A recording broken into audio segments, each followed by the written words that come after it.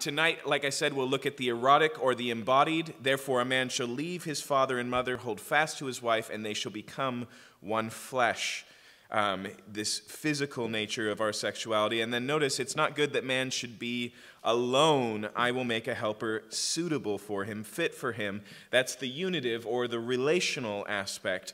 And when we put them together, we get a three dimensional view of God's plan for sexuality. And although we're going to look at one side at a time, until we get all three on the table, we won't see the whole picture.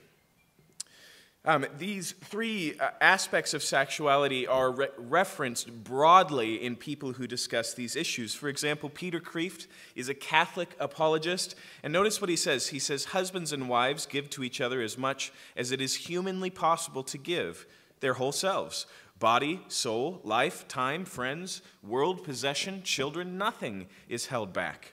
That is why the church, notice the capital C there, he's a Catholic. That is why the church opposes artificial contraception, because it's the deliberate holding back of the procreative ingredient in marriage, just as test tube babies are a deliberate holding back of the unitive ingredient, and Victorian puritanical fears hold back the joyful erotic ingredient. So he references there all three in fact, he names them here. God designed all three to be one unitive, procreative, and erotic, two in one flesh, intimacy, third party procreation, first party self forgetful ecstasy. It's all here. Now, he starts to lay out an idea there that we'll come back to that there is not just three sides. When I say three dimensional, I really mean there are three dimensions to our sexuality, but we'll see that better in just a minute. Uh, this is John Stott evangelical, amazing thinker, and benefit of many Christians. And notice what he says here classical theology has followed the biblical revelation in identifying three main purposes for which God ordained marriage. It's also usually listed them in the order in which they're mentioned in Genesis 1 and 2, while adding that priority of order does not necessarily signify priority of importance.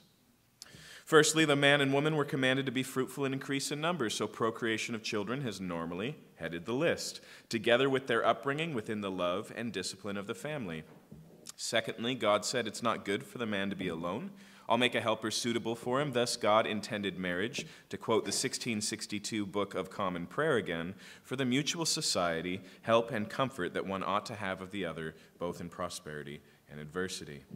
Thirdly, marriage is intended to be reciprocal commitment of self giving love, which finds its natural expression in self, uh, sexual union or becoming one flesh. And so John Stott uh, lays out all three, and so does Lisa Sowle Cahill, who is a teacher of ethics at Boston College uh, and also a Christian. And notice what she says deficient moral behavior or inadequate moral analysis can result from the truncation or the division of the pleasurable, that's the erotic, the intimate, that's the unitive, and the procreative meanings. In fact, notice this human sexual experience is complex and complete when all three bodily dimensions of sex are developed through the three levels bodily, personal, social. So notice this the erotic aspect of sexuality has to do with you and your desires. The unitive adds another layer, a second dimension, by bringing a relationship with another person. The two become one, and procreation brings in the third dimension by pushing it beyond the marriage and into the realm of family and uh, uh, and as we'll see in a few nights, also society. And that's what I mean when I say it's three dimensional. It's, it's, uh, it's not just three facets, but three levels bodily, personal, and social, integrated in relationships over time.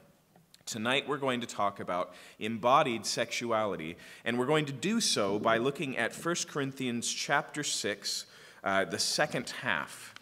Now, um, this passage is a difficult one because the letter to the Corinthians is one of the more difficult books of the New Testament. So we're going to have to do quite a lot more open hood exegesis, working with the text tonight, than you've probably done in the past. I promise I've got some visual aids and we'll take our time, we'll lay that foundation. Um, but what I want you to notice right off front on this passage is its emphasis on the body. Now, Flannery O'Connor uh, was a short story author, one of my favorites, uh, a essential component of American literature, and she wrote a book labeled, named for the chapter we're about to read. a book uh, or a story called The Temple of the Holy Ghost. And I found this quote that connects where she was thinking, what her head was at in writing the story. I wish I had time to tell it to you tonight, uh, but I would encourage you to go looking for it. It's not hard to find. But notice what she says here. She says, I'm almost always astonished at the emphasis the church, guess what? She's Catholic, the church puts on the body. It's not the soul that will rise, but the body glorified. I've always thought that purity was the most mysterious of the virtues, but it occurs to me never to have entered the human consciousness to conceive of purity if it were not to look forward to the resurrection body, which will be flesh and spirit, united in peace, the way they were in Christ. She says she's astonished by the emphasis the church puts on the body. I don't think we always have that astonishment. I think we might miss it. And so it's important as we read tonight that we uh, are freshly astonished by the focal point Paul makes here on our physical bodies. Read the text with me here. All things are lawful for me, but not all things are helpful. All things are lawful for me, but I will not be dominated by anything. Food is meant for the stomach, and the stomach for food, and God will destroy both one and the other. The body is not meant for sexual immorality, but for the Lord, and the Lord for the body. And God raised the Lord and will also raise us up by his power. Do you not know that your bodies are members of Christ? Shall I then take the members of Christ and make them members of a prostitute? Never. Or do you not know that he who is joined to a prostitute becomes one body with her? For as it is written, the two will become one flesh. But he who is joined to the Lord becomes one spirit with him. Free, flee from sexual immorality. Every other sin a person commits is outside the body, but the sexually immoral person sins against his own body. Or do you not know that your body is a temple of the Holy Spirit within you, whom you have from God?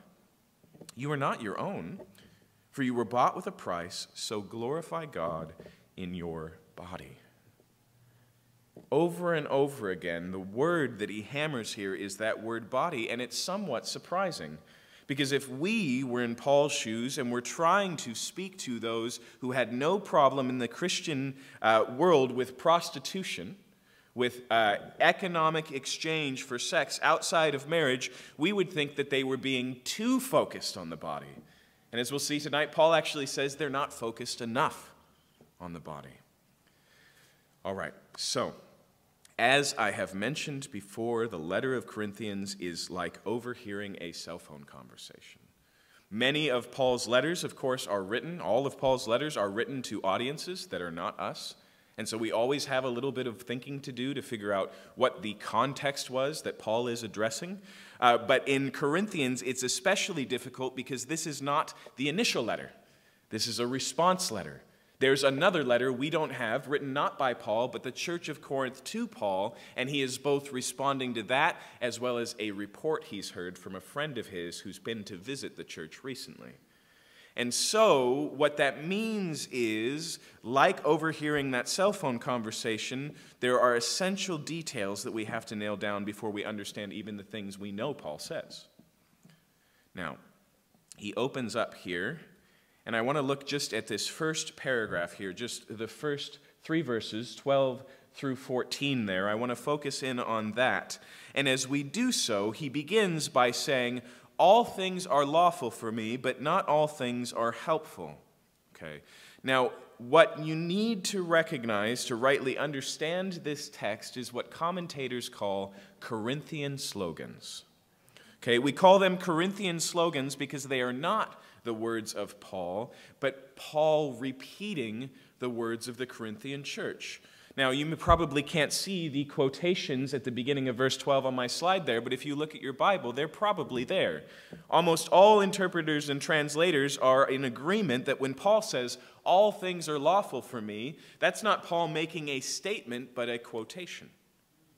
He's introducing what he's about to respond to, which is why the next thing that he says is, But. In fact, one of the things that's interesting about these Corinthian slogans is as we find them, Paul never just slams them down and shuts the door. He always says, Yes, but. He says, That's true, but it's not the most important truth.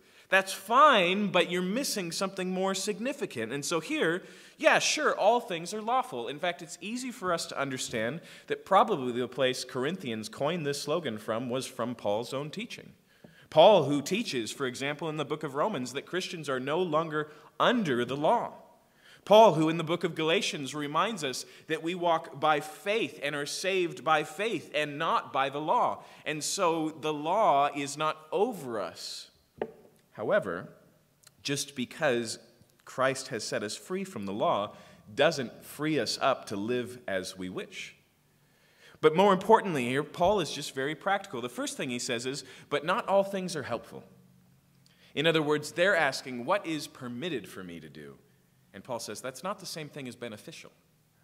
Right? Now, more important than that, this word here for helpful, when we read it, as autonomous, individual centered Americans, we think, but not all is helpful for me. I would suggest to you that Paul's idea is actually helpful in the most basic sense, helpful for other people. One of the reasons I say that is because the Corinthians are so into this slogan, it comes up again later on here in chapter 10. Um, we'll come back to that in just a second. That's really good. Um, Later on here in chapter 10, when he's dealing with their practice of eating food sacrificed to idols, again we see here all things are lawful, but not all things are helpful. But notice what's paired with it all things are lawful, but not all things edify, not all things build up. Okay? And so what he suggests in his opening comment here is you're right. In a sense, we are no longer bound by the law, but we are bound by the law of love. He says it's not beneficial for other people. You may be free to visit prostitutes, but it is, a, is it a loving act towards the person you're paying for sex? He says you're getting the wrong answer because you're asking the wrong question. Now, what's really interesting is Paul doesn't just begin with that Corinthian slogan, but this whole paragraph, verses 12 through 14, is full of a repeated antagonist that Paul is responding to. They speak, and he responds. That's very hard to see in the text as it is formatted in your Bible, and so I've broken it down for you so that you can see the back and forth. Watch this with me. All things are lawful for me, but not all things are helpful. All things are lawful for me, the Corinthians say, but I will not be dominated by anything. And then the Corinthians say, and this is really important food is meant for the stomach, and the stomach for food. And Paul responds, the body is not meant for sexual immorality, but for the Lord, and the Lord for the body. Do you see how those statements are parallel? Food, stomach, stomach, food. Body, Lord, Lord, body. Okay? And then notice the Corinthians say God will destroy both one and the other. And Paul says, no, God raised up Jesus, and he's also going to give you a resurrected body. Do you see how that makes better sense of the text so it doesn't look like Paul is having some sort of schizophrenic episode? Paul isn't saying that the body is going to be destroyed, and so it doesn't matter. He's saying, You say that, but that's not theologically accurate. Okay? And so it's very important that we see what's going on here. Now, the first thing he says is, You're saying, Aren't I permitted to do this? And he's saying, Is it beneficial? Notice the second one All things are lawful for me, but I will not be dominated by anything. Here, the Corinthian church says, I am free to do this. And he says, But are you free not to? What he's recognizing here is that when we give ourselves into particular behaviors, sometimes we enslave ourselves unto those particular behaviors. And so basically, he wants them to ask two different questions Is it beneficial for others? And does it leave me in a place of freedom? Am I free as unto the Lord, or I'm still am I still a slave to lustful desires or to anything else whose name is not Jesus? Okay. And so again, they say, uh, they say here, food for the stomach and the stomach for food. Now remember, we know where we're going in this passage. What Paul is really addressing is prostitution, so why are we talking about diet? Understand the logic of the Corinthian church here. They say, look, I have a stomach, I get hungry, I eat, my stomach's no longer hungry. No big deal. It's just a natural desire, and I'm satisfying it with a natural thing. It's a physical desire, and it's a physical reality. No harm, no foul, right? In other words, they're not really talking about food and stomachs. They're talking about, uh, they're not really talking about hunger. They're talking about a different desire and a different part of the body and satisfying that part of the body. And so, interestingly enough, the Corinthians here, all the way back in the first century, century, say something that suddenly sounds very contemporary. Sex is merely a bodily appetite. You see, one of the paradoxes of, of our times is that the world believes two crazy, incompatible things. One, because it's just the body, because it's just a bodily appetite, sex is no big deal. And two, sex is such a big deal that if I don't find it, if I'm not met in what I need in my sexuality, then I'm somehow hindered from being fully human. In fact, we've made it a primary source of identity. How can it be merely a bodily impulse and the primary core of who we really are? As Christians, we actually have a paradox as well. It's just the opposite one. We believe that sex is so significant that it deserves to be maintained and policed by a particular ethic. And we think it's so important that you can have a good and fulfilling life without it, like Jesus did. You can pick your paradox, but the biblical paradox is the second one. And so Paul clarifies here, and he goes, Yes, the stomach for food and food for the stomach. But they go on and they say, And God will destroy both one another, one and the other. And he says, Now, wait a minute. God's plan for our bodies is not that we would escape them, not that we would be set free from them. That is a Greek idea. That's what we call Platonic dualism. That is actually the danger of Gnostic thought in the New Testament creeping in that sees all material things as bad and as lesser, and therefore salvation and righteousness is to be disembodied. Plato taught that the body was a cage and the soul was a bird trapped in that cage. And so here they go, it doesn't really matter because it's just this earthen vessel. And he goes, but your body is not meant for sexual immorality, it's meant for the Lord. Now, what's even more fascinating is then he says, and the Lord for the body. Okay. We read that first one and you go, okay, fine. My body belongs to Jesus. I was bought with a price, so I don't get to choose what I do with my body anymore. Somebody else is in charge of what I do with my body. Maybe like uh, the story that, um, that Watchman Nee tells of when he was traveling on a train and some passengers turned to him and said, We're about to play a game of hearts, but we need a fourth. Would you play with us? And he said, I'm sorry, but these hands don't belong to me, they belong to Jesus, and so they don't play cards. Now, I don't think Jesus would have any problem playing cards, but is that the mere idea here? When he adds, and the Lord for the body, he means that there's something about the coming of Jesus itself that is focused on you physically. Jesus came for your body, not just for your soul. Okay? In fact, not only did God send Jesus for the body, but the same one who physically raised Jesus from the dead will also physically raise us when he returns. Heaven is not this ethereal, disembodied existence, but the new heavens and new earth with our untainted, unfallen, unbroken, undiseased, perfect bodies, resurrected bodies. Okay. And so they here, the Corinthians, see prostitution as merely physical. And so it's not a big deal. And Paul doesn't critique them for being too physically minded, but not physically minded enough. Their view of sexuality is very closely related to the modern view of sex that reduces sexual ethics, like we've talked about, down to consent. Jonathan Grant, who wrote a book called Divine Sex, uh, gives us four myths of the modern view of sex, and we'll see some similarities here with what we've been reading. Okay? The first one sex is merely a natural desire for physical pleasure. Physical desire, physical pleasure that meets it, that's all there is to it. Okay? This perspective rests on the foundational belief that sexual desire is simply the longing for a certain type of sensory, physical pleasure Sex is said to be a natural appetite like eating, so sexual craving merely seeks to satisfy this physical hunger. It is not anchored in any deeper and more holistic desire towards another person. The second myth, he says, builds upon the first. Fulfillment, then, is found in perfecting technique. Okay? If sex is just about physical pleasure, a happiness technology, then the key to fulfillment is to maximize and intensify the sensation by perfecting technique. The key then is not what we express in sex, but what we experience. Okay?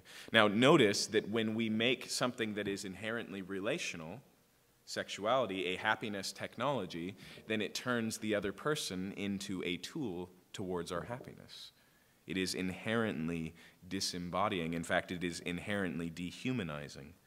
He adds two more that are worth covering here, even though we don't see them as much in the Corinthian church. They are essential for understanding how we think about sex. The third is that repressing sexual urges will harm us. This is Freud.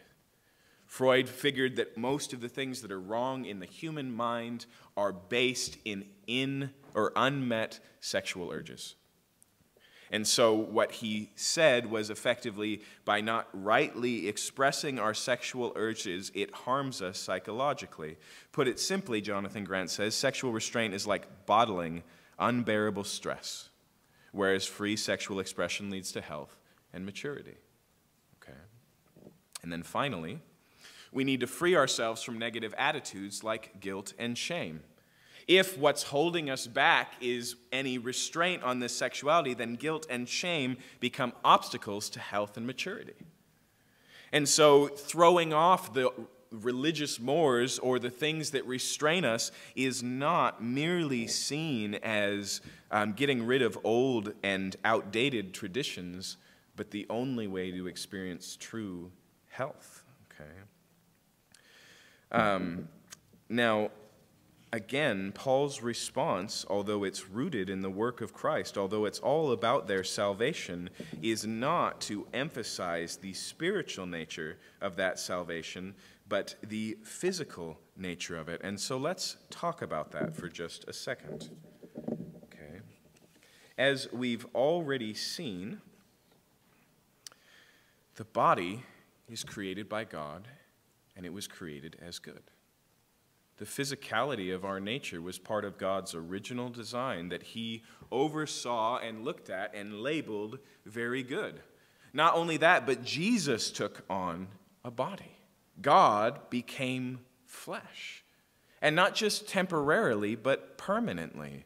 That's why Daniel 11 is so striking when it says, The Son of Man receives the kingdoms. There's a human being on the thrones of heaven. But God takes no hesitation, puts on no airs about taking on that physicality. I mentioned earlier Gnosticism. Gnosticism took a view that separated spiritual and physical and said spiritual good, physical bad. In fact, they were so in, uh, set on this belief that they believed that the one true God could not possibly have made the world. Instead, he made a spiritual being who made a lesser spiritual being, and so on and so forth. And there was a little bit of degrading in the quality until an aeon, one of these created spiritual beings created by a spiritual being, and so on and so forth, one of these aeons was corrupted enough to make the world. Okay? That's why John does something amazing in John chapter 1 when he says, In the beginning was the Word. All the Gnostics go, Yeah, we believe in the Word. That's our language. Tell us more. And then what does he do in verse 14? He says, The word became flesh. I love that. John speaks the language of his culture, but he speaks the truth of Christianity with that language. But here, uh, Jesus takes on a body, and now, like I said, has a raised one. Our bodies also will be raised. As we saw in Romans 8 23, we are now currently groaning with all creation, awaiting our adoption as sons, the redemption of our bodies Not the releasing from our bodies, okay? This is not Greek dualism, but what theologians call psychosomatic unity. Okay? So here's another thing that it's not that's also a common modern idea materialism. Materialism says you are merely your body. That's all it is. Any impulse you have towards love, any sense you have of right or wrong, that's just firing synapses and chemicals that are rooted in an instinctual pattern going back to your ancestors and just expressed. Okay? The Bible doesn't believe in dualism or in materialism, but presents psycho, your soul, somatic, soma, your body, unity. In other words, you're not merely your body, but you clearly are your body. Your body is clearly you.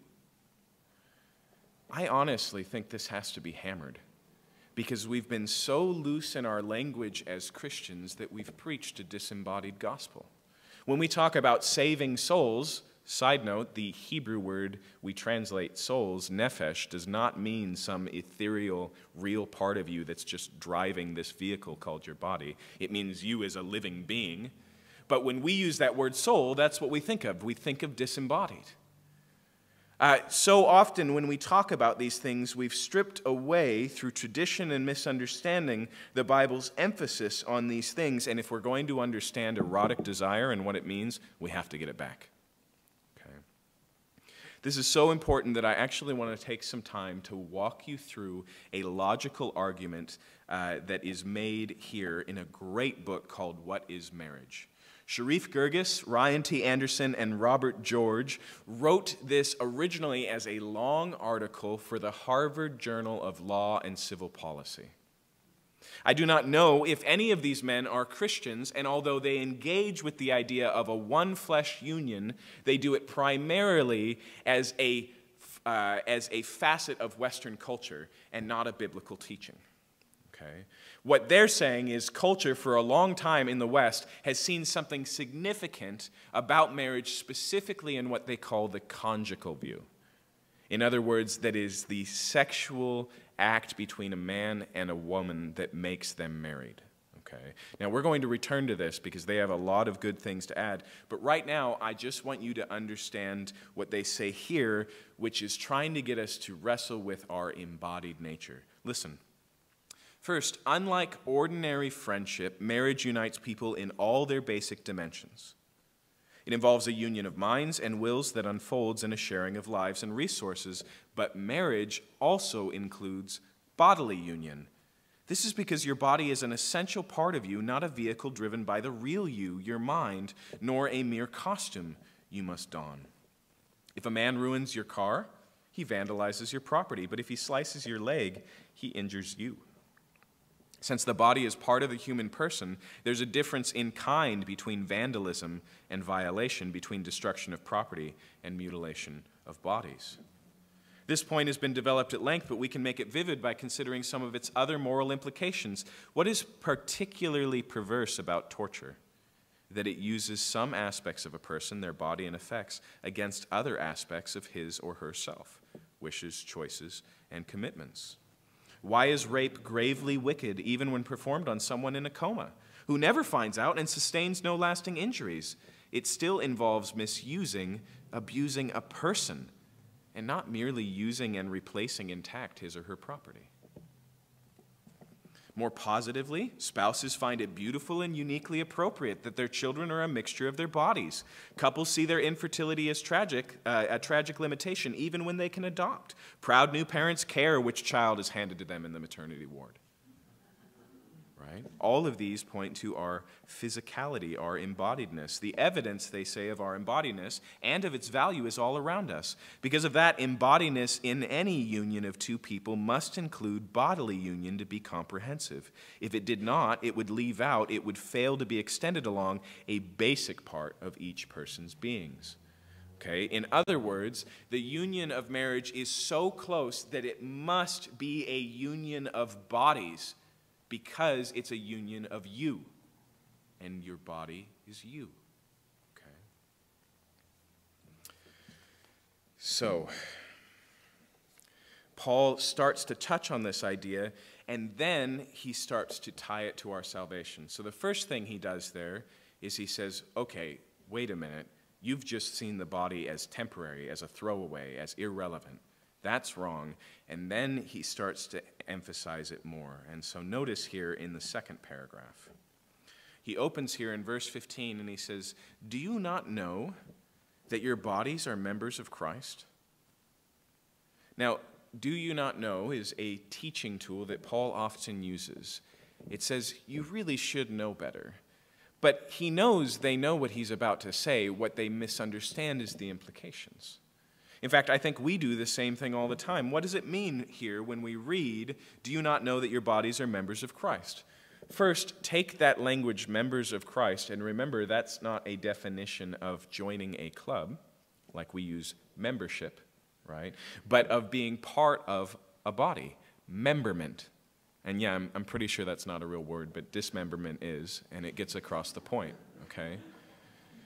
In other words, Paul says, Don't you know you're part of the body of Christ? And Paul loves this metaphor. He uses it later in Corinthians in 12, 13, and 14. He uses it in Ephesians chapter 4. Uh, it shows up everywhere, but what he says here is not just you are part of the body of Christ, but your body is part of the body of Christ.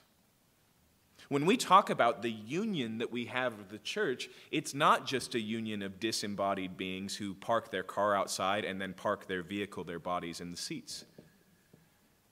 It's a union of bodies because it's a union of real people and we're embodied. In other words, you have been attached to Jesus, not just soul, but body.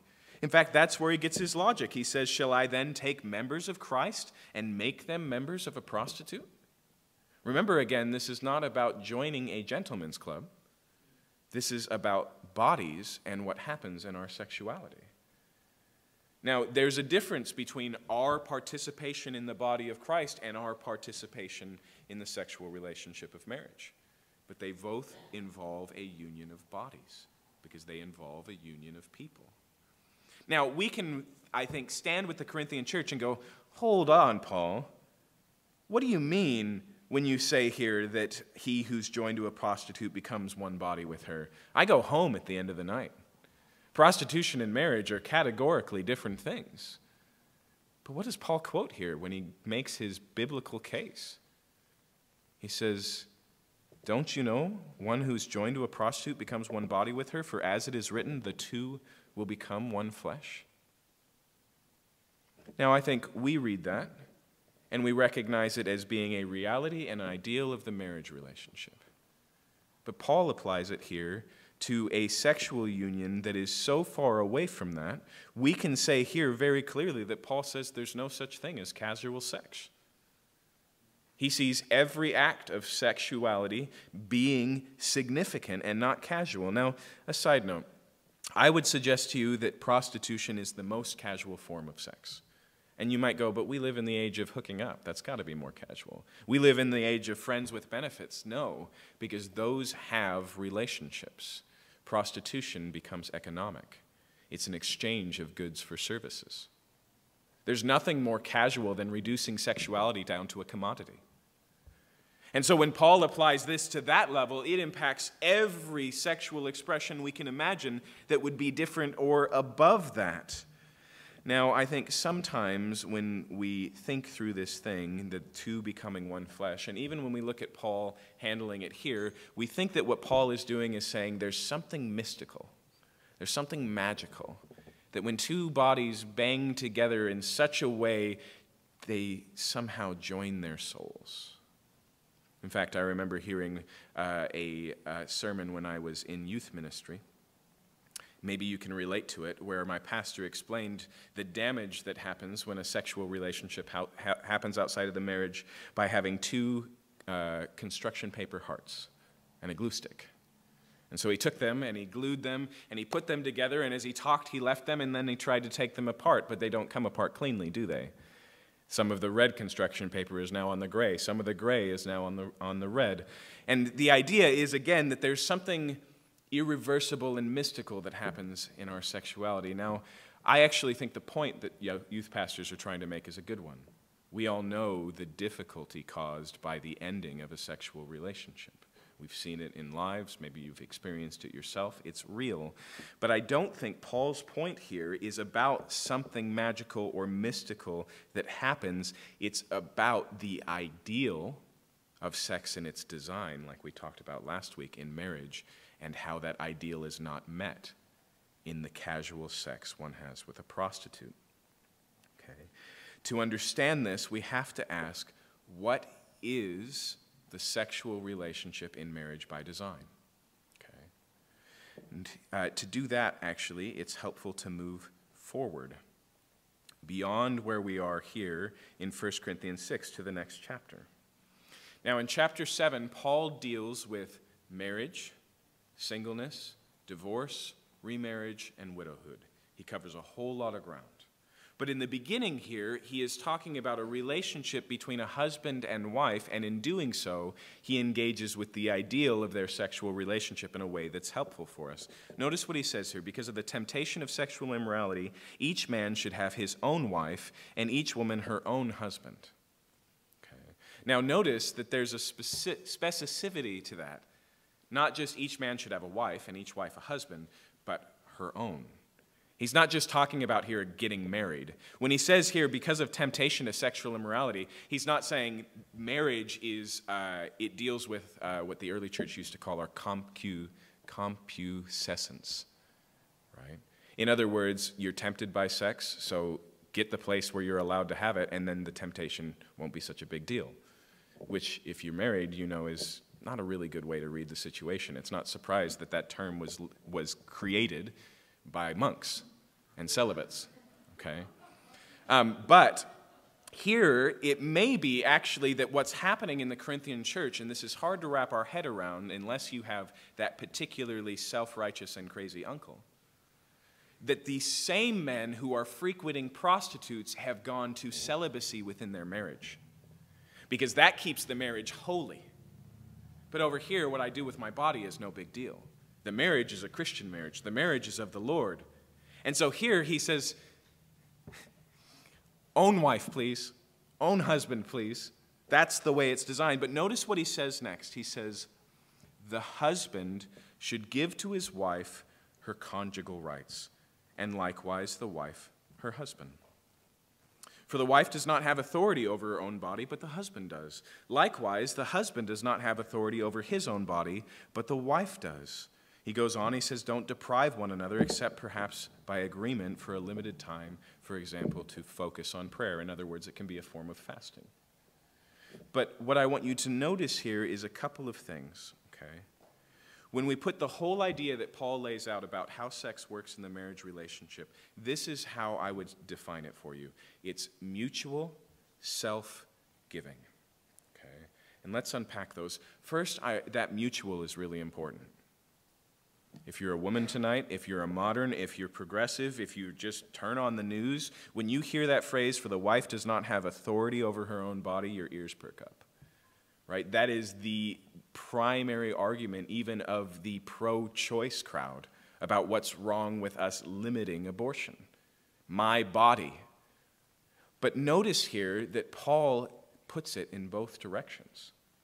He's not talking here about some sort of patriarchal ideal, ideal that reduces a woman's body to property of her husband, any more than he's talking about the husband's body being property of his wife's.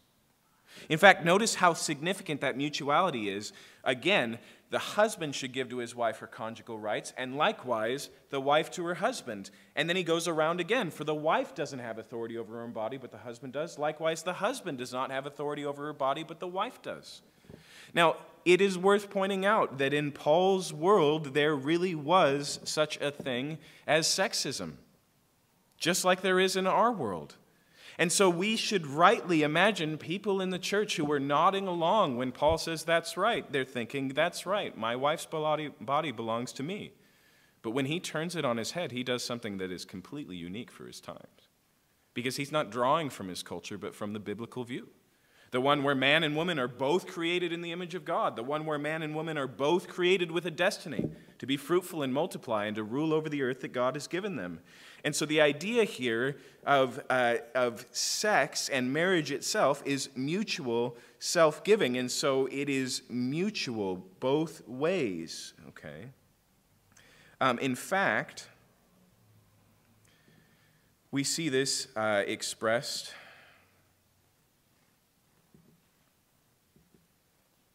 in the Song of Songs.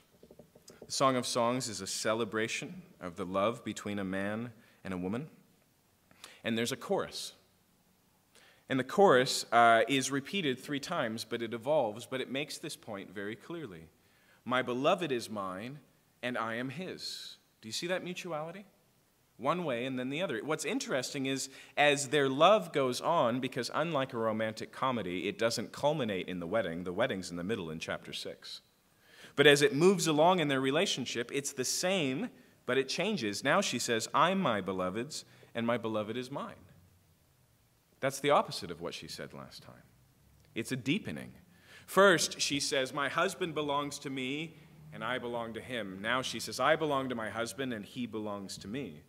I would suggest to you that we have an inherent instinct that understands how that works, which is we're very reluctant to give ourselves fully to someone unless it's safe to do so.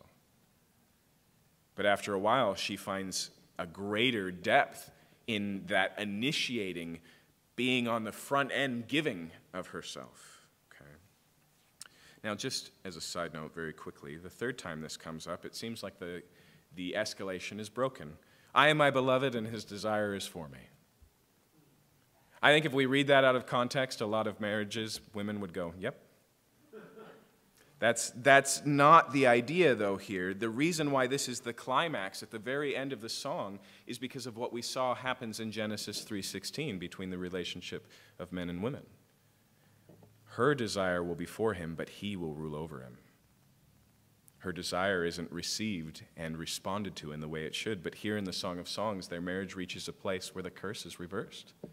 No wonder Song of Songs is basically a return to the Edenic Garden of Eden right? All the imagery is this beautiful place. Their bedroom is, is the lawn out front, the trees hang over them, they're celebrated by the birds. Okay, and so there's a full restoration here, but again, it's mutual self giving. Now, that idea of, um, of self is important here, okay, because the body is an essential part of you. Withholding the body is withholding of self. Giving the body is a giving of self. Okay. Now we'll return to this idea a little bit, but that last one is of, of giving, and that's important. When we go back here to 1 Corinthians chapter 7, there's something that's easy to miss. Specifically, it's that the orientation Paul gives is what we owe to our spouse, not what rights we have of our spouse. In other words, his instinct is to talk about what we should be giving, not what we're owed. Okay? Uh, now, Jesus himself says it's more blessed to give than to receive. There's an understanding of love inherently that is built this way. But in sexuality, this is significant, and we will return to it. Um, but what I want to point out here is that the orientation is one of giving and not of taking. Now, when we put this all together, sexuality that operates outside of this context, mutual self giving, not just the giving of your body, not just the giving of your time, uh, but the giving of your very life, all that you are, when you just and merely give your body or a financial transaction or these types of things, in withholding the rest of who you are, it becomes inherently and obviously taking. In other words, it's using. It doesn't take or receive or respond to the whole of the other person, it borrows their body for your physical pleasure. And this is true if the relationship is consensual. It's true if the relationship is loving.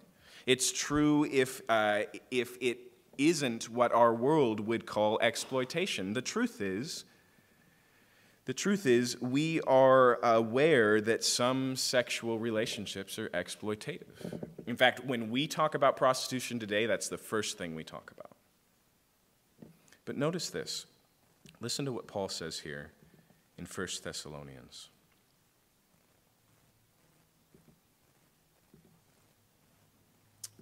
Don't have time for that, but we do have time for this.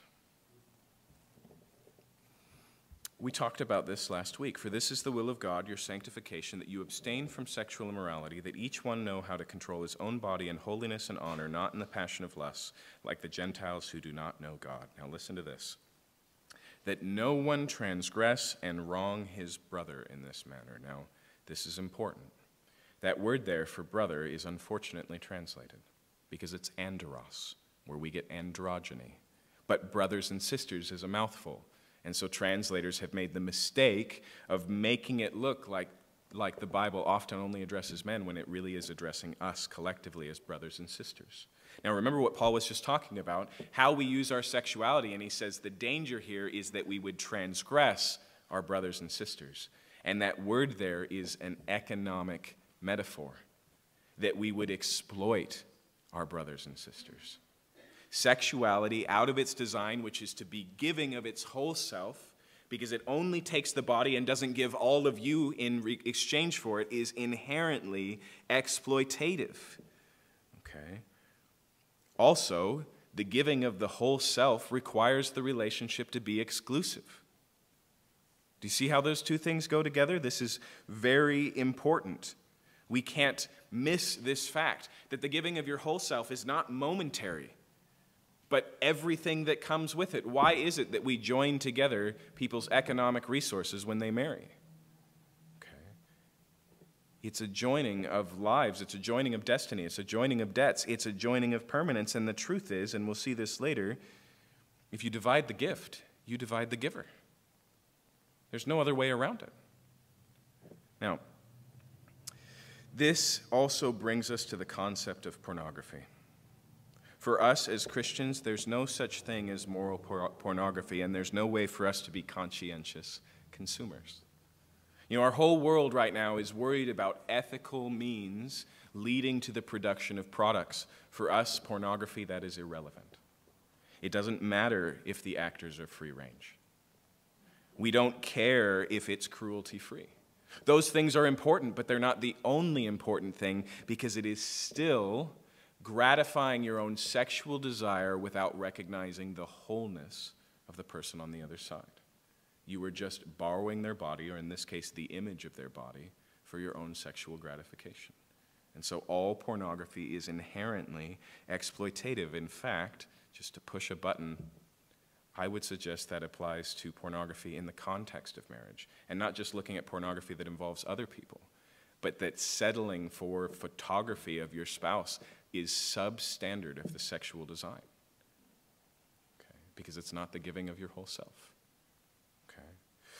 Now, what I'm suggesting to you is when Paul says here, don't you know that he who's joined to a prostitute becomes one body with her? What he's saying is, don't you know that you're robbing this person? Do you think that it's really fair to exchange, you know, a, a couple of pieces of silver for a sexual act and that's fair play?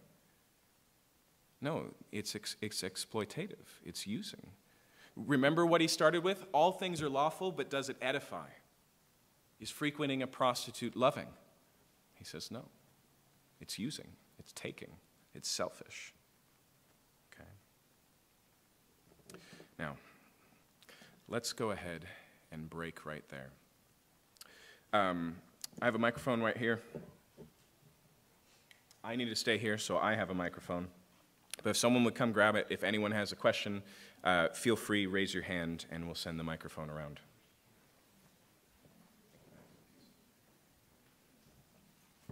Questions?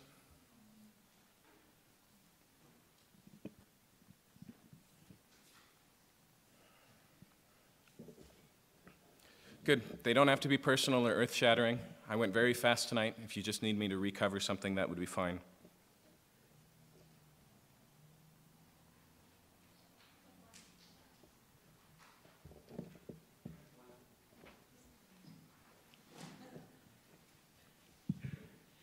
I have a question about, um, there's a scripture in the Word that says mortality will not inherit immortality or something like that, Mhm. right? Yeah. Okay, I guess I'm having trouble getting through your thought Great. that the body's going to be sitting in heaven, you know? You see what I'm So saying? the passage you're referring to is 1 Corinthians 15, and I would suggest to you that it's the most important chapter on this issue uh, that there is. And so basically, what that passage suggests, let me pull it up here. You're right, is specifically that our mortal bodies will not inherit the immortal, okay? But Paul's point in the context is what God's going to do about that is give us immortal bodies. And you go, but isn't that a new body? Does it still have identity? But remember the metaphor that Paul goes on to use, which is the metaphor of a seed. And although a seed and a plant look like different things, they're one thing. And not just one thing because they share some sort of DNA like two flowers do. They have one body that's gone through this transformation, gone into the ground like we will, and become something else, but something the same. Okay? And so I'd encourage you, read 1 Corinthians 15 the whole way through, and the great emphasis there, again, is the physical re- resurrection that we're expecting. And it, you're right, it's not a resuscitation. It's not just divine paddles that shock us back into life. It is something that is wholly new. But even with the earth, we see the same thing. We are expecting a new heavens and a new earth, but that's not, uh, that's not deletion, it's replacing, it's restoration. Mm-hmm. Other questions?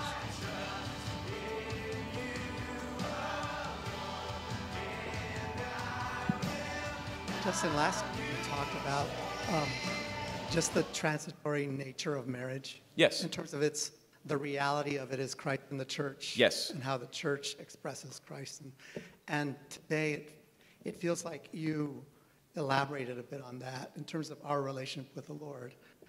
Um, the thing I'm wondering about is when you talk about those three dimensions, Mm-hmm.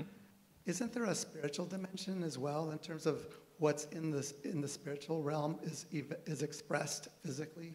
Yes, yeah, I mean, absolutely. And again, I would suggest the reason is because it's, it's more than just the spirit expressing itself physically. You are spirit and flesh. You've never met a disembodied human being, right?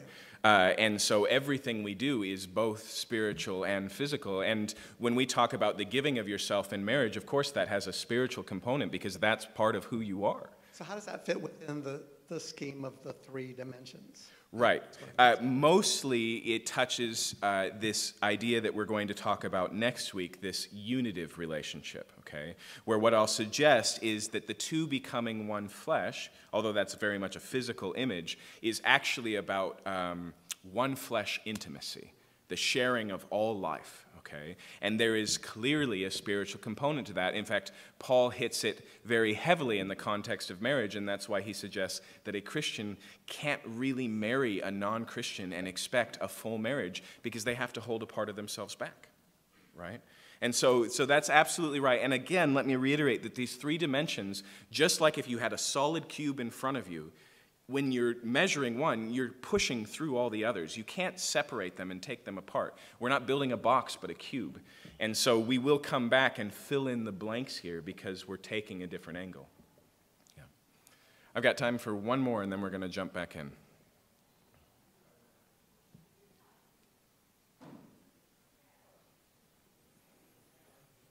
All right. Let me just take the moment to remind you that the way that this material we're walking through over these 10 weeks works is all together. Uh, which means there are things that I'm just grazing across and we will revisit. And every time we will do it, we'll do it with needle and thread.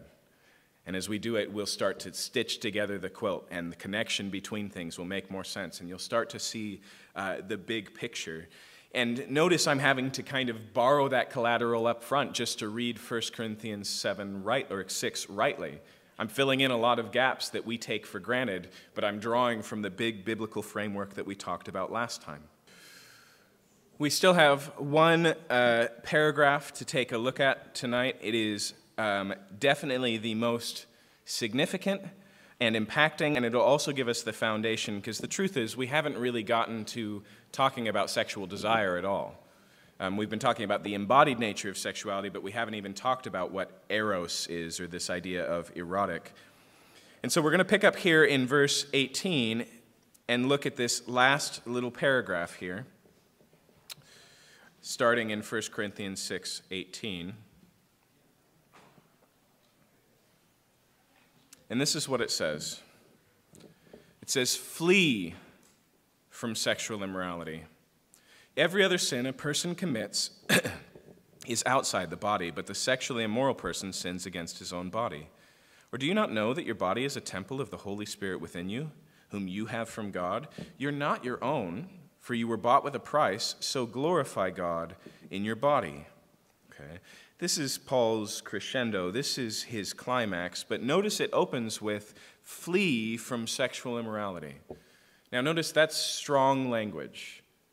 He doesn't just say avoid, he says run from.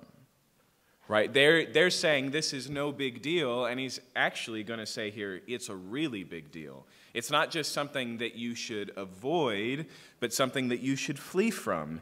In fact, if you've been a student of the Bible for very long, that language may even evoke a particular biblical story in your mind.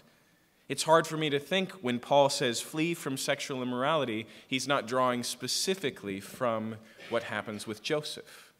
Right? Joseph, who is uh, enslaved in Egypt and working for a man named Potiphar, and he does very well in there, and he becomes kind of the head of the household, and he takes on basically all responsibilities that Potter's respons- Potiphar is responsible for.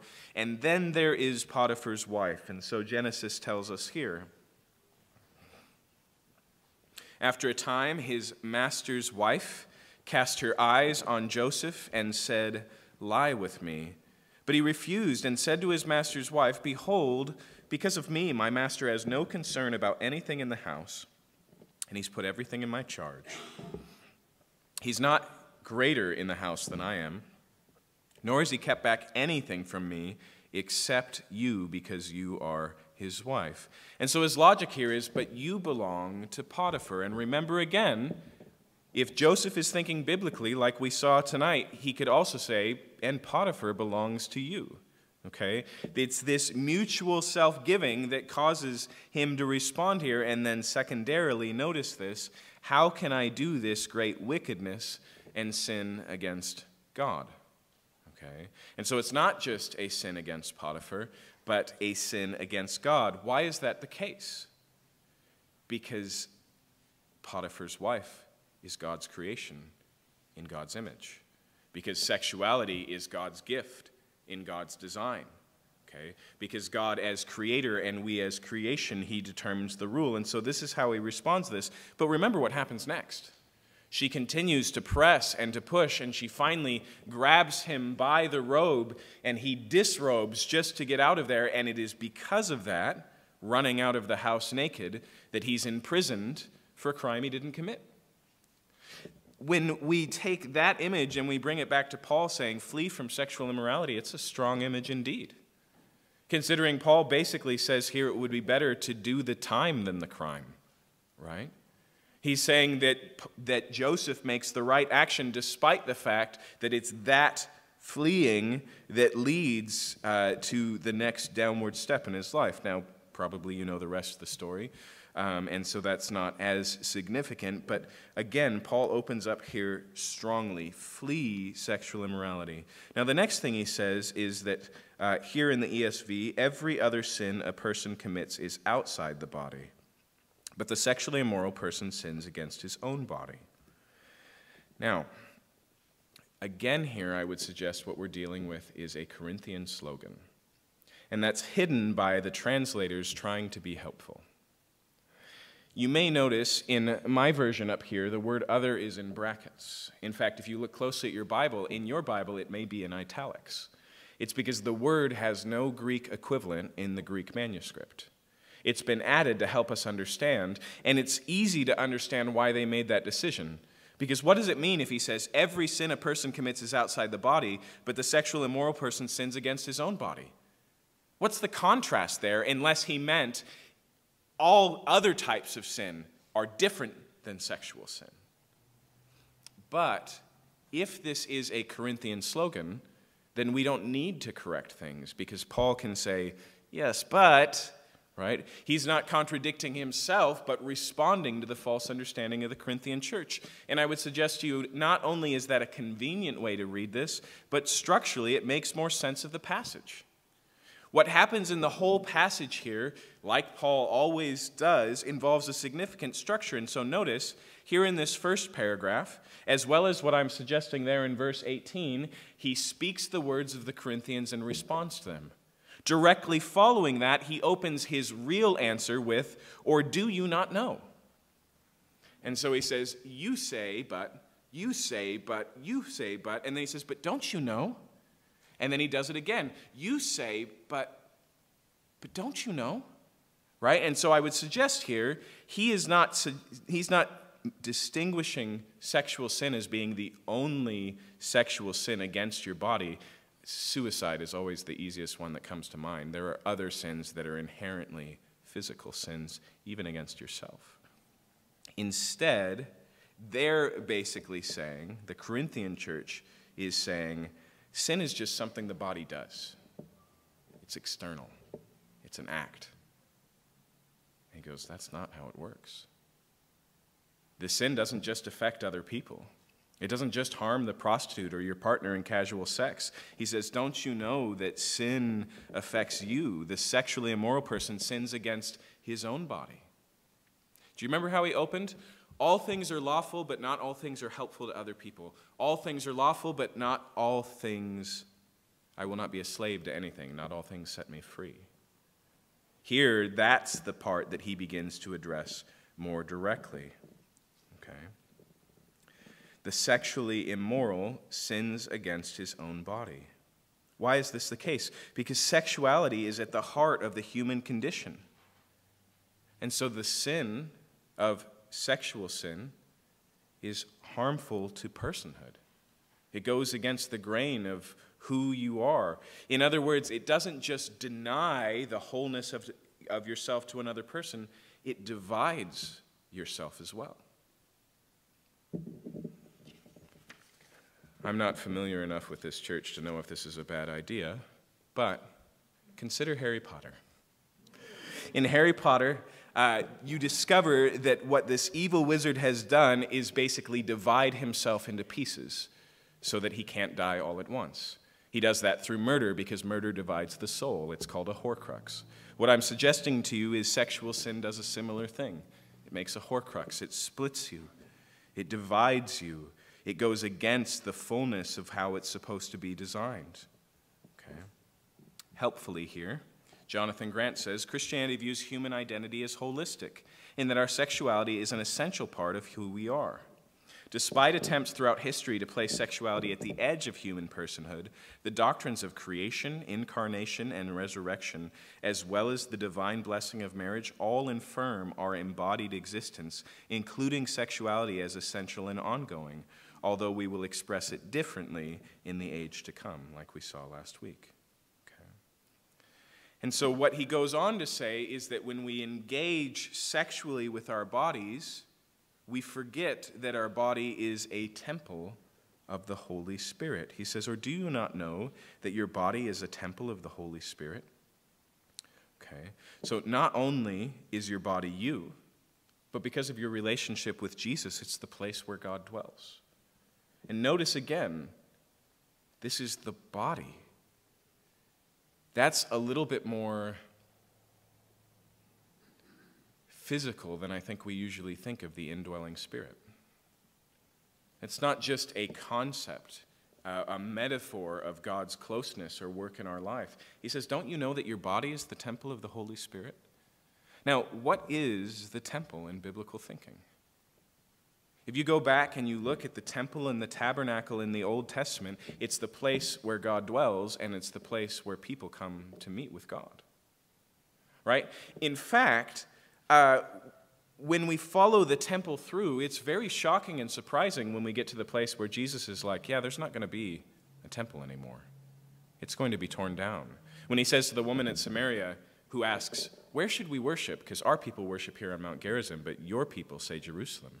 And he says, A time is coming, and now is, when those who worship God because he is spirit and truth will worship him in spirit and truth, not here nor there.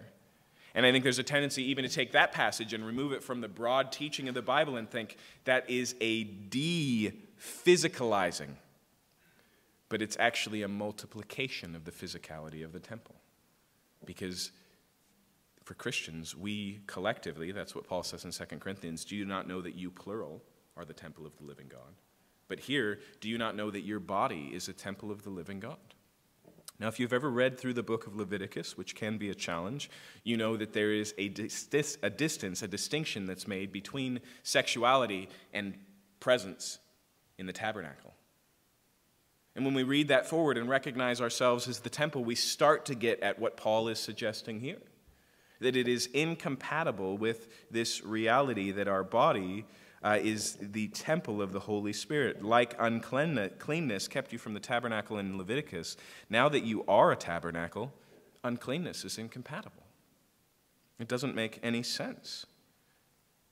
Now, the next thing he says is, For you were bought with a price, and you were not your own. Now, generally, when we read that passage, uh, we think of redemption, as we should. One of the ways the Bible talks about our salvation is economic in nature, that God has bought us out of slavery. Okay. But when Paul says here, uh, Do you not know that you were bought with a price? What is the context that we've been talking about? prostitution. It's jarring, isn't it? Paul knows how to be provocative, and he's clearly being so here. In other words, if we wanted to, I, I, I don't think a Christian sexual ethic can fit in a tweet. I think that's one of the great mistakes of our time is trying to communicate in such a limited format and when things are just way more complex than that. However, if we were going to try, we would suggest that the summary of the passage here is that bought people don't buy people. But notice how that creates a problem. Because what were we saying earlier? Hey, wait a minute. The thing that made prostitution or casual sex so significant is that it was an unfair trade, reducing what is uh, you know, beautiful in God's design down to an economic nature. So, why can Paul so comfortably apply this to what Jesus has done in our life? Well, First and foremost, remember the words here of Peter. This is in 1 Peter chapter 1. He says, Knowing that you were ransomed or redeemed from the feudal ways inherited from your forefathers, not with perishable things such as silver and gold, but with the precious blood of Christ, like that of a lamb without blemish or spot. Now, when the Bible evokes blood, it connects it with life. When it talks about the shedding of blood, it doesn't mean that you accidentally cut someone, right? And when it talks about the fact that we are saved by the blood of Christ, as much as a t shirt might tell you otherwise, it's not a blood transfusion that did the job. When it says here the blood of Christ, it's not presenting an alternate currency, it's talking about death. In other words, what makes this different than prostitution is Jesus didn't just give something, he gave himself. In fact, he gave his body. He took on a body and redeemed our bodies with a body. A full, all encompassing exchange. In other words, and we're getting on sacred ground here. We're in places that can be easily misunderstood, but what I'm suggesting to you is not only, like we saw earlier, did God take on a body because he wanted to save all of us, the whole of us, and the body is us, but he did it in an embodied way. He did it in an embodied way, and that says something more significant. Jesus took on flesh so that he could give it fully and freely and completely and comparatively to our being, which is embodied. And so, no, us being bought with a price is not equivalent by any means to prostitution. When it says here, we belong to Christ, and again, sacred territory, we can return, and Christ has demonstrated he belongs to us. I mentioned in our first week that if we're going to understand sexuality, we have to do it in the context of the image of God which means we don't just stop with how do we live our lives. We look beyond to what does our lives say about who God is and the relationship he desires to have with us. And Paul makes that connection explicit here, doesn't he? Not in the context of marriage, but in the context of prostitution. Talk about a stretch. But how does this work? This brings us to being able to actually think through the concept of eros. Okay? When we talk about erotic desire, we're recognizing an embodied desire. Okay? You may long for the presence of another person, but erotic desire isn't satisfied in a phone call. It's physical, right? It's tied to this embodiedness, okay? Now, the mistake that we make, and it's because of the loose way that we use language, when we say erotic, like for example, an erotic dancer, we reduce erotic desire to a smaller thing than it actually is. The ever helpful C.S. Lewis gets us out of this hole by saying this Sexual desire without eros wants it, the thing itself. And so we have sexual desires. That's not what we're talking about when we talk about Eros. Eros is more than that. Eros wants the beloved. Okay? It's a desire for the self, and that self is physical, so it's a physical desire, but it's not a desire for the act. Proper understanding of erotic desire can't be satiated by any given means or by any given person. It wants this person. When we read in the Song of Songs, I am my beloved's and my beloved is mine, and when we see that expressed in a sexual relationship in the context of marriage throughout the Song of Songs, which, side note, is tremendously erotic, even though it is not explicit. Right? There's not a lot of anatomical language in Song of Songs. It's metaphorical, it's euphemistic. I say that because I would suggest that if we were looking for a way to artistically express sexuality as Christians, we can learn a lot from the Song of Songs, which is way more erotic than we would normally be comfortable with, but is not explicit. But the desire is both physical and holistic. And it's because the person that you want is both a whole person and therefore an embodied person. Now, I think we actually need to push C.S. Lewis a little bit further here because of what we've seen tonight. Here he says, Eros wants the beloved. In other words, C.S. Lewis says that erotic desire is the desire that you would belong fully and completely to me. But what did we see about sex and its design? That it's not about taking, but giving. And so I would suggest, and some of you have even found this deep in yourself, that these deep longings we have that are sexual in nature are not the longing that someone would belong to us, but that we would be able to fully give ourselves to them. Okay. Now, what does that tell us about God? You see, the thing is, for for most of the thinking on this topic, usually as far as we get is erotic desire somehow is like this longing we have for God. So maybe you've heard the old and famous quote that is always attributed wrongly to G.K. Chesterton the man who rings the bell at the, brothel is looking for God. And there's a truth there, right? Every deep longing we have expresses a deeper longing we have. Like we saw with Augustine last week, our hearts are restless until we find our rest in you. That's why the chasing of sexuality, and it doesn't matter if it's in the um, you know, the pantheon of sexual experiences of our times, or the over idolizing of marriage doesn't bring us what we're looking for. Because, like we saw, it's a shadow, and the substance is something greater, something more significant. But here's the thing what did Paul say earlier in the chapter? The body is meant for the Lord, and the Lord for the body. What I'm suggesting to you is that Eros doesn't merely or even most appropriately describe our love for God, our longing for God, but a longing in God's own heart for humanity. Eugene Rogers uh, I don't have this quote in my slide, and part of the reason is because Eugene Rogers' book is terrible. It's, it's one of the most frustrating reads. He plays with the scriptures in a way uh, that, that drives me crazy. Um, but he has this one sentence, and it shook my world because I'd been spending time in 1 Corinthians 6. This is what he says He says, Eros may or may not be a good description of the love by which God loves God. In other words, maybe it doesn't express Jesus and the Father, and the Father and Jesus. And that would probably make us uncomfortable, anyways. But we'll see there is something about that Trinitarian relationship that we find in marriage. We'll see that next week. But he continues, he says, But it is the principal description of the love by which God loves human beings.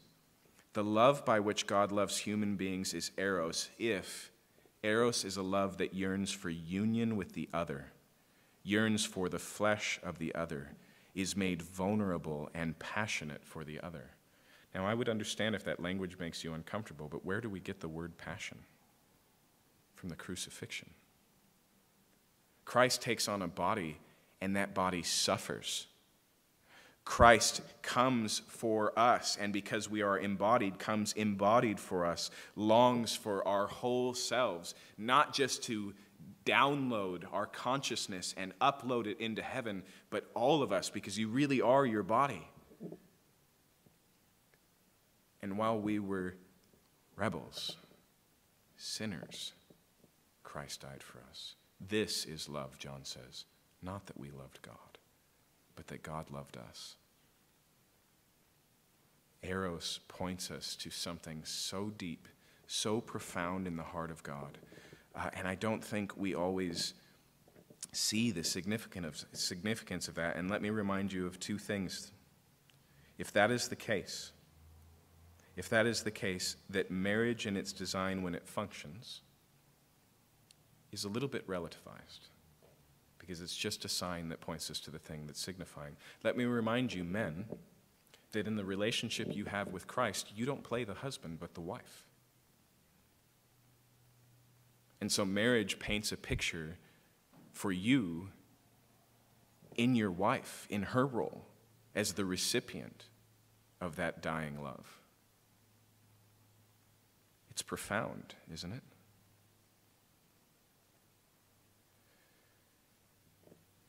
What I'm suggesting tonight is that God's love for humanity is passionate and that it expresses itself in a way that we can understand because by design, God gave us eros.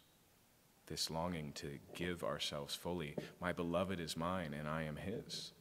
But that language fully, completely, ultimately is fulfilled in the union we have with Christ. When we will be with him physically, forever, unseparated by death or sin or time or distance. And so it relativizes whether these desires are met because we can rightly channel unmet longings into their ultimate fulfilling. But it also gives tremendous significance to what we express with our sexuality because either it rightly images this God or it reflects something different. Just by way of illustration, this is a little bit harder to do in such an intimate topic, but consider the fatherhood of God. Isn't this the case?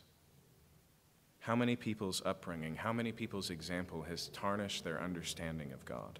And not just their comfortability with this word father, but the idea of father, the one from whom all fatherhood is named, it says in Ephesians. I would suggest to you that when we wrongly use our sexuality, we wrongly image, even to our partner in those sexual acts, who God really is. But again, we've only covered tonight one dimension of sexuality. This isn't enough to understand a Christian sexual ethic. This isn't the fullness. I was going to say the depths, but it's pretty deep.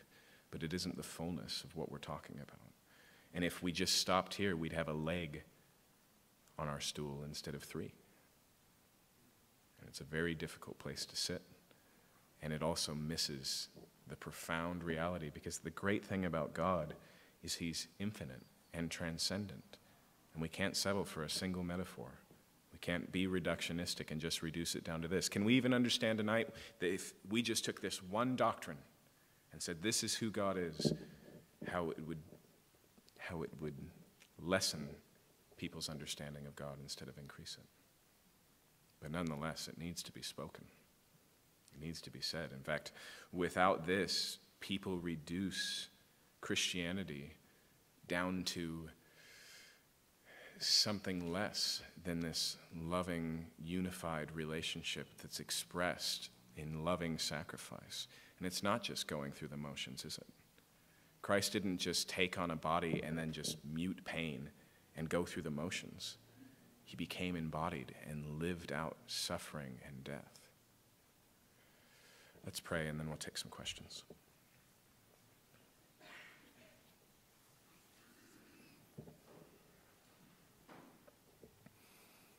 God, I find for myself that learning sometimes requires speed because you need to see the whole map. You need what they do in a golf game when the helicopter flies over and shows you the whole uh, of the, the whole of the hole before you start playing. And then there's other times, Lord, where we just have to sit and stop and ponder and confess like Paul. Oh, the depths and the riches of the wisdom of God. How unsearchable are his judgments and his ways past finding out. Where we're struck again by the love you have for us that we thought we understood. Lord, I pray for the people in this audience. I pray for myself the prayer of Paul in Ephesians 3 when he says that God would work in us a tremendous strength so that we might have strength to comprehend the love of God. On our own, we are too weak in fact, you say that you desire for us to know the love of God which surpasses knowledge. Apart from God, it is impossible for us to see this for what it is. And so I pray, Lord, that you would strengthen us, that you would give us eyes to plumb the height and length and depth and width, to know the love of Christ that surpasses knowledge. And for those of us who are deeply wounded, not somewhere else in our life, but right here in our sexuality, in the way that we've been used, in the way that we've harmed our own personhood by dividing ourselves in such a way that you would meet us right here and we would recognize, Lord, that that is the humanity you love. While we were sinners, Christ died for us. Thank you for that, Lord. In Jesus' name we pray. Amen. Amen. We have some time to take some more questions, and then I'd love to send you home early because I can't promise it'll happen again.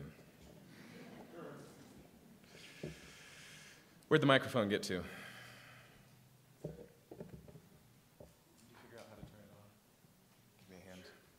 Any questions? Yeah, Rick, right over there. You just you just wave it and say Lumos.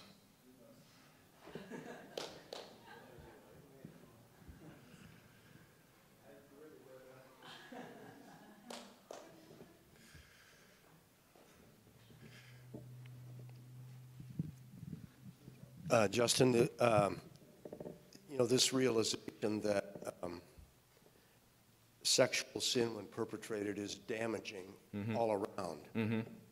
Uh, perpetrator, victim, to some extent. But how how would you distinguish, or is there a distinction uh, be, between the, the perpetrator and someone who, for all intents and purposes, is a victim?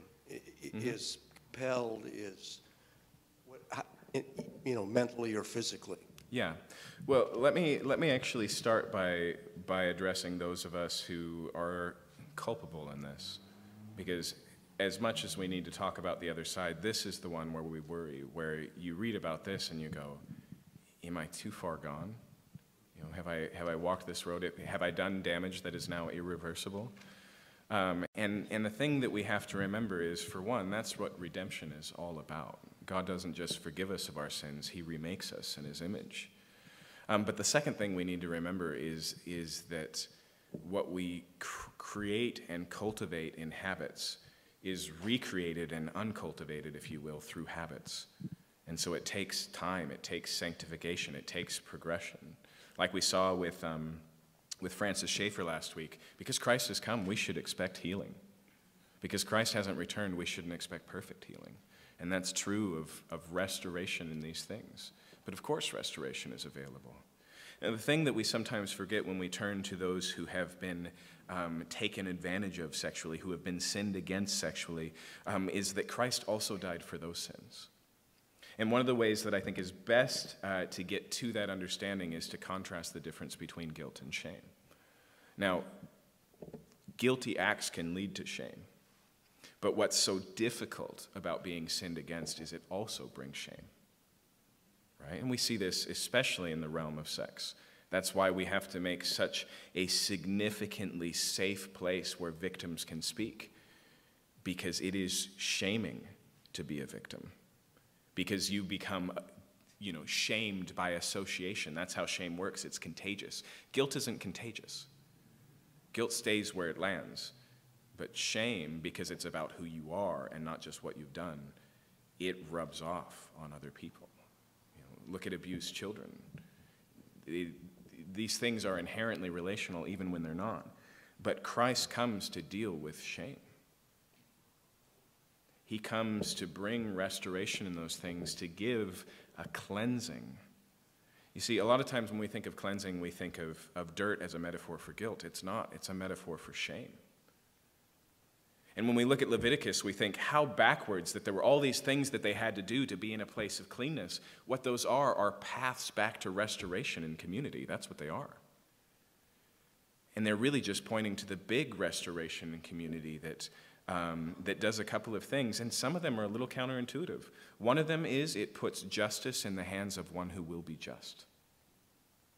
And so it takes victims and it promises them restitution and that restitution may be fully and completely fulfilled in the cross. But if not, there is a righteous judge who sees all things. And so, those two ideas together the ideas of justice and the idea of how God deals with our shame and gives us what in its place? Glory. Right? Because you were connected to this shameful person, and that brings shame, but now you're connected to Christ, and that brings glory. Anyone else? Yeah, right, right here in the middle.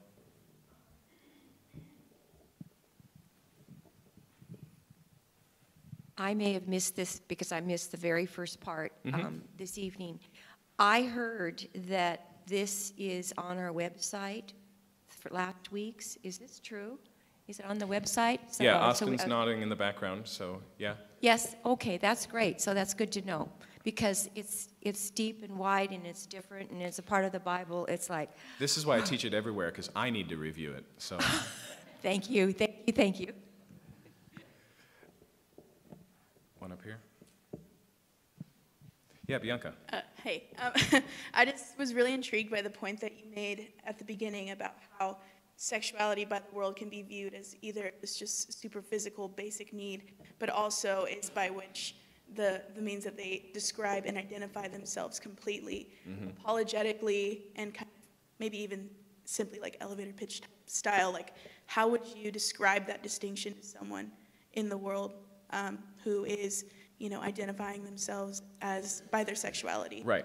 Yeah. So we'll talk more about um, about homosexuality in the second half of the class, about five weeks from now, um, and that's where sexual identity really comes in. Um, one of the things we need to recognize is is that when we read tonight that this is an inherent part of our identity, and then when the world says this is an inherent part of our identity, we mean two different things. We mean sexuality as a part of humanity in its broad context. That's a shared thing.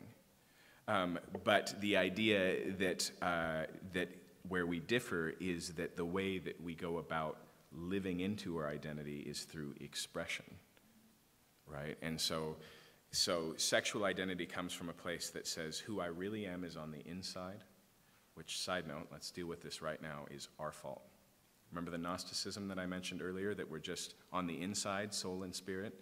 We've cultivated that so much in the church that this culture is our bastard child. Okay?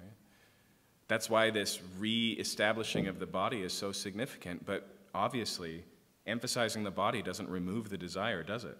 In fact, somehow it makes this more complicated because it is a physical desire for someone else's physical nature, which is physically different than what the Bible points to, right? Um, but the, the issue, uh, like uh, we talked about this last week, I don't think you were here, um, uh, Bianca, but uh, there's different ways to resolve that crisis of identity. and one is the organismic, which says, I need to be who I really am. But there's also the telic way of achieving congruence, which, which focuses on becoming, which, which ties to purpose and changes those things. You know, like, I mean, this is such a trite illustration, but, uh, but I honestly and all the time crave hamburgers. And I could fully lean into that and make that part of my identity. I could be the hamburger guy. And there would be some happiness there. But if I want to be healthy, then that involves restraint in desires, even though it is still an identifier and maybe even an aspect of identity. And most importantly, healthiness and wholeness get us back to that idea of God's design, right? And so, so it's that injection of purpose that makes all the difference. And again, that's where the church has tremendously failed those who are same sex attracted. Is all we've given them is uh, what Eve Tushnet calls a vocation of no. You can't live out a vocation of no. And nobody is called to. What God offers them is not a boundary and a limitation, but a fuller life. Isn't that what Jesus said he came to bring? I seem to recall, I did not come just to give life, but abundant life. Those are the things we have to rediscover if we're going to communicate to our culture. Uh, I saw Frank in the background, all the way in the back.